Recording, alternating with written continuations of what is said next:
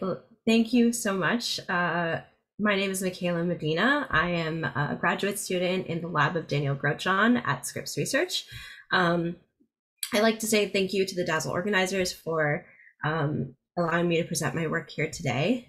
Um, the title of my talk is 3D Surface Morphometrics Toolkit to Characterize Organelle Ultrastructure. Um, but actually, before I get into my work, um, I would like to share a little bit about my academic journey so far. Um, I always think it's really interesting to see uh, how people um, have found their journey uh, to science. So um, we are starting off uh, at a, a, local community college um, and at here in San Diego, and that's primarily because I knew I was interested in biology, but um, I was wasn't exactly sure, and so actually I uh, changed my major um, or, or my focus quite a few times um, and even dabbled into physics a little bit. Um, and and this allowed me the freedom to be able to explore different avenues. Um, but finally, after a few years, I decided I wanted to go into cell biology, and I was able to um, apply to UCSD uh, under the biology department uh, for cell biology and biochemistry. Um, this was the very first day I accepted the offer to UCSD and had to go to Price Center to take this photo. Um, but during my time here, I actually realized that even though cell biology is, you know, narrowing it down a little bit, it's still quite a large field. And so I didn't actually know what I wanted to do. I didn't have much um, actual practical research experience either. And it wasn't until my, uh, you know, winter quarter of my final year at UCSD in my undergrad that I took a 3D cryo-electron microscopy course taught by Professor Elizabeth Villa here at, at uh, UCSD. Um, and through not only discussions in class, but also, um, you know, asking her about her her work and and what it's like to do structural biology and, and to do cryo-EM and cryo-ET. Um, I was really kind of have this newfound direction of, of going into um, structural biology. But um, at the end of my time at UCSD, I wanted to take a break, uh, or not directly go into a PhD program, but I wanted to go get some real life um, research experience and see if this field was something I was really interested in um, and could do. So I then reached out to uh, a professor at, at Salk, so just across the street, um, where I began a research assistant position um, doing structural biology.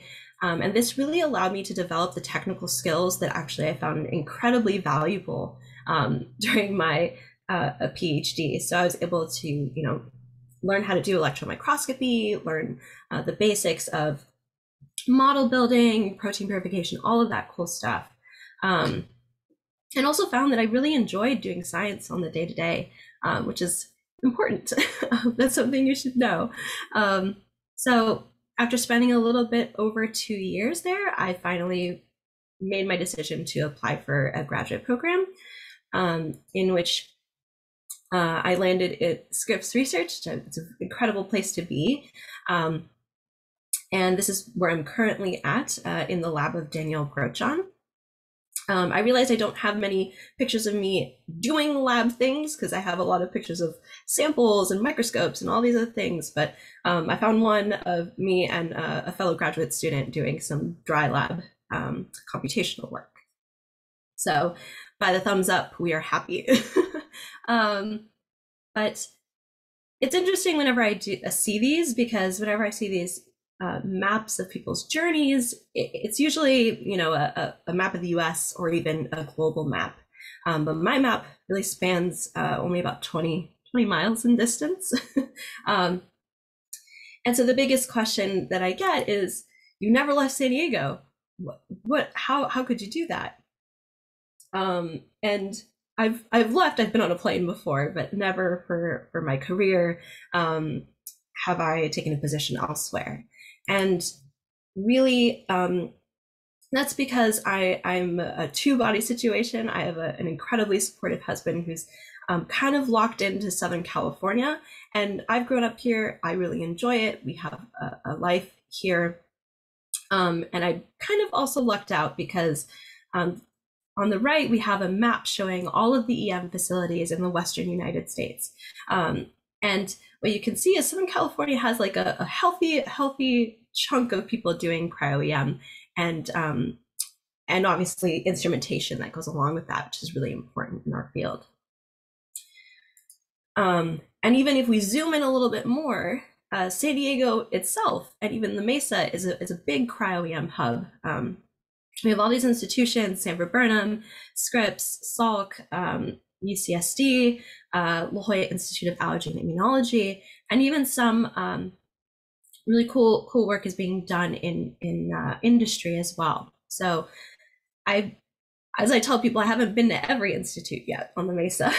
um, and obviously, navigating academia with a limited geographical range can present some cons. Um, so the biggest one is is you know a valid one is that I'm I haven't explored um, different academic environments and and met new people. Um, but I really try and make an effort to um, you know go do workshops and and talk to people and foster collaborations that are that are outside um, to try and kind of combat that uh, not remaining stagnant in one place um, additionally there is a stigma um, i'm always asked you know why don't you broaden your horizons why don't you do all this and and um, sometimes it's it's not looked at uh, in the best light um, but i'm just like really enjoy it here and, and i explain my situation and most most times people understand. Um, the biggest one i think in my future is I, I really would like to have an academic position and stay in academia um, but due to how difficult it is to get these kind of faculty positions um, limiting my range is, is going to be a, a, tricky thing to navigate so I, I hope to somehow make that work um, but on a happier note, there are some pros. Um, so I keep very close contact with a lot of the mentors that I have, um, you know, met along my journey, and and I speak with them frequently and and get their advice on how to navigate academia, as well as you know have really cool scientific discussions. Um, and these two are kind of related in that because I have been a part of so many institutions across the Mesa, I it's a little bit easier for me to find collaborations across institutions. And I'm familiar with certain resources at different institutions because I've used a lot of these core facilities, or I'm familiar with people who have equipment. Um, so that has come in handy um, quite a lot, um, which is, is really nice. Um, on a more personal note, um, I have my family here. Um, so my parents, uh, my husband, as I mentioned earlier, and you know the idea of of starting a family. Um, it, I know it's really speaking with people who uh, faculty who have children. It, it, it's quite difficult uh, to kind of balance having an incredibly competitive lab and and having that environment, but also having um, you know a family. And so having additional help by my parents would also um, facilitate me being more successful in my job. Um, so, and also their incredible support. Um, and the, you know, uh, the advertised uh, tourism uh, attention grabber for San Diego is the nice weather. And uh, I just had to put in a, a picture of uh, Mission Bay that I took, um, which is, you know, this incredible sunset with a double rainbow. And yeah, I where do I get that other than here? um, all right, so shifting gears back to uh, my research, um, and again, we're interested in understanding um, organelle ultrastructure um, and, and how do we define that? And, and so we've developed a, a toolkit to be able to do this.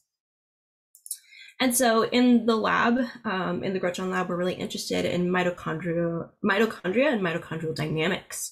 Um, and so the mitochondria itself, I'm sure this group needs no introduction, but um, you know, I've drawn it here with its outer membrane and its inner membrane and these highly specialized specialized folds called cristae.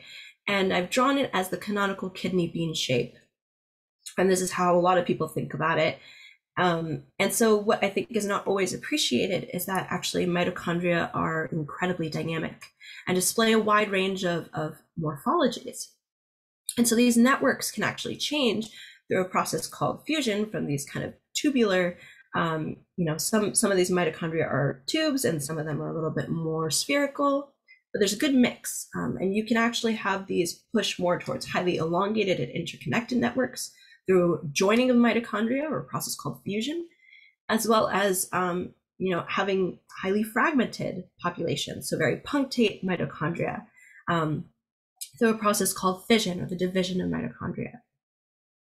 So a lot of really incredible work has been done. Uh, decades and decades and decades of work has been done uh, understanding mitochondrial dynamics with light microscopy, and we've gained a lot of knowledge. Um, but one thing that we don't understand is how does the inner inner workings of a mitochondrion, so the inner membranes, how are they oriented in this in this type of um, during these more during these changes.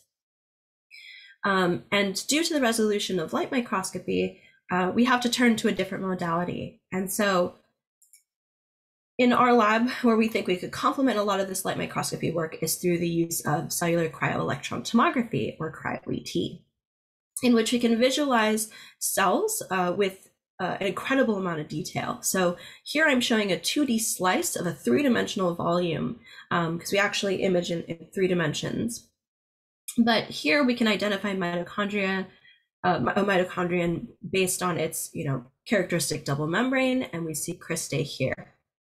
We additionally see surrounding ER, and um, you know these little spots here are actually uh, uh, cytosolic ribosomes. And so, as I mentioned before, our data is 3D in nature, and so what we have to do is actually take uh, our data and segment out or isolate out these membranes and attribute them to uh, you know the outer mitochondrial membrane, the inner mitochondrial membrane. Um, and so here, this is a movie showing us uh, in, in uh, a program called Amira doing this. And so we have the purple representing the outer membrane, the green representing the inner mitochondrial membrane, and we could do this with any other membrane um, in the cell. And so here we're showing also ER, um, shown in yellow. So the biggest challenge historically is how do we begin to attribute significant changes in in organelle ultrastructure um, when no two organelles look alike um, you know they can have a wide range of morphologies. Um, and so then we started thinking about different components that we would want to measure. And so some things for in the instance of a mitochondrion we may want to think about intracristae distances. So how far apart are these each little leaflets of um, the cristae, membrane curvature, so how curved are these membranes, um, cristae junctions, how are they spaced, how are they organized, um, inner and outer membrane distances, and really any other distance measurement, including outside of the mitochondrion. So how close is the ER to the mitochondria as well? I think these are all really important things that we, we want to be able to understand. And so we can do some of this um, in two dimensions. And so I've, I've, made a cartoon here showing a mitochondrion a cristae, um, so the inner membrane in pink, the outer membrane in uh, purple, and the ER in blue. So if we wanted to make a simple distance calculation of how, how close are these two organelles interacting? Well, we can qualitatively see that that is the region that is closest um, in distance. And so we could pull pull up our data in something like ImageJ or um, uh, Amira, which is another another way we can make distance measurements. And we could say, okay, we've identified by eye that these two, and you know, we can do a couple of trial and errors of you know which distances are indeed closest. And so we could say these two are the two points in which these uh, two membranes are the closest. Um, but as I've stated before, we're in three dimensions. And so we have a problem in which we have um, this is the 2D slice that we currently identified as the closest distance. But actually, we can have many different 2D slices. And sometimes the closest distance aren't even on the same 2D slice. And you could be able to identify these um, through very careful analysis in a multi-viewer to try and get that specific um, like right view to measure these distances. But again, this is incredibly time consuming um, and doesn't lend itself to automation. Um, and also because of the amount of user uh, interaction and user determined um, uh, points, it can lead to be a little bit less precise.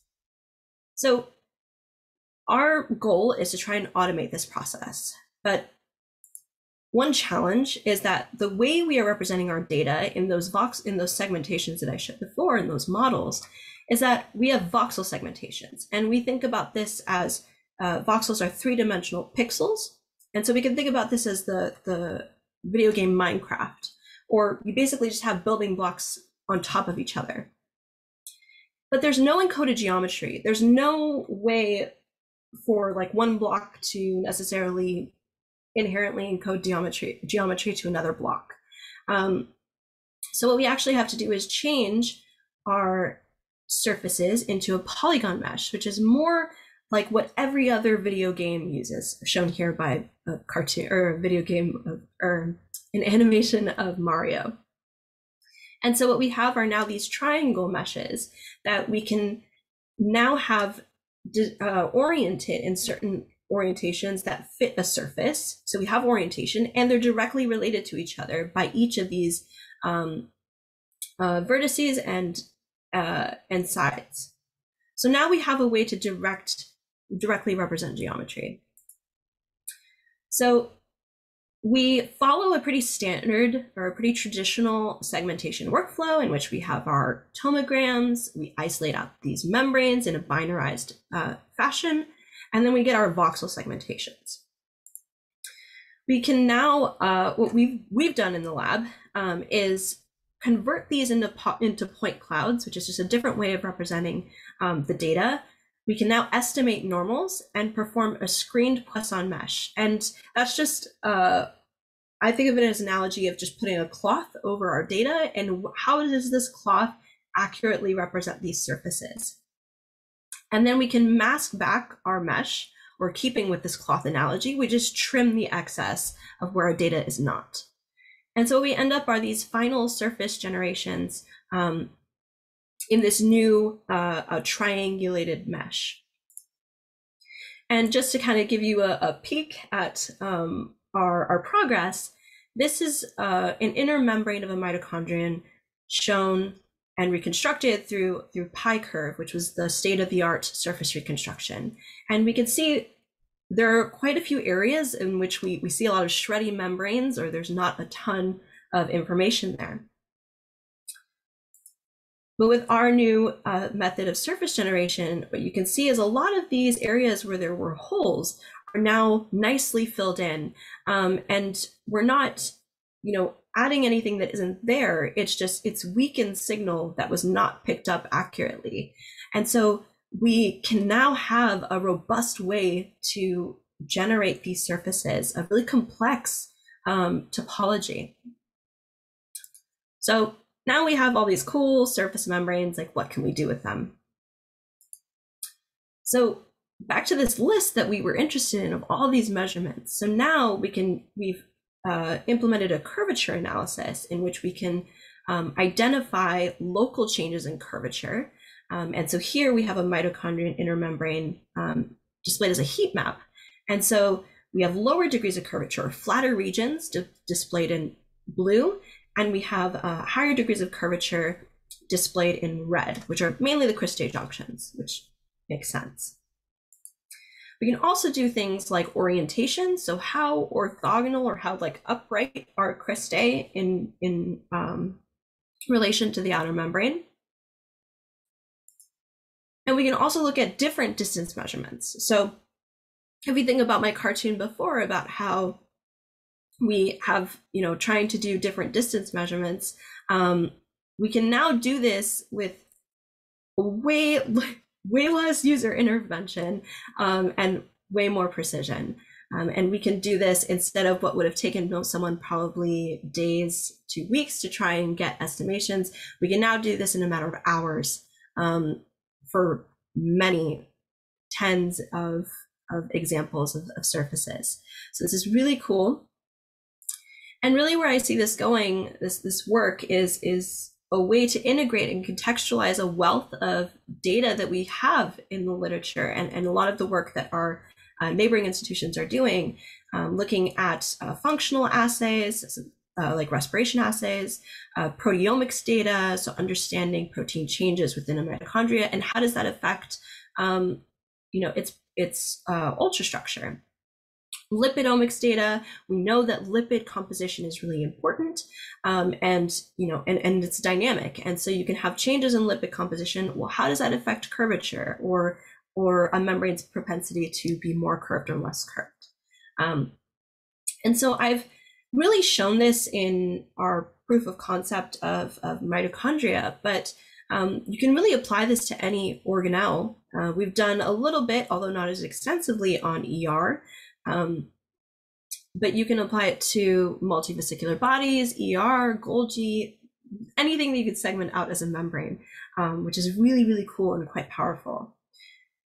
And so in the same way that on the atomic level we have you know structure equals function and the structure function relationship is really important and is a guiding um, you know concept in in structural biology we want to now on the organelle level have ultrastructure function relationship and so now we can use this as a tool to analyze organelle structure in disease models so having different disease states um, and seeing how their organelles respond or change or even just basally look.